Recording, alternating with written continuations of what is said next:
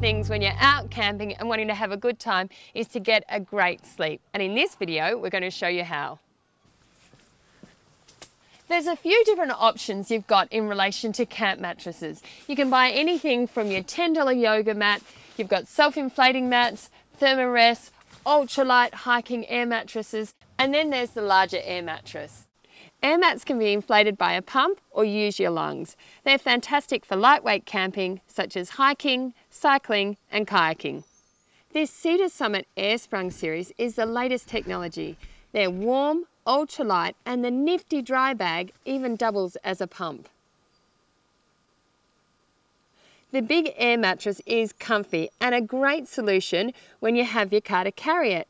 But don't forget the battery pump as no one will want to inflate this mattress. Once you've got your mattress set up, you need something to keep you warm.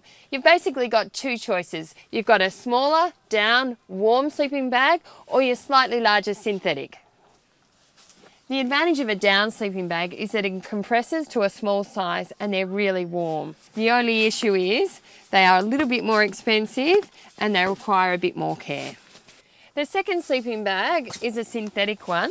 They're slightly more robust than the down and if they get a bit wet, they'll still keep you warm.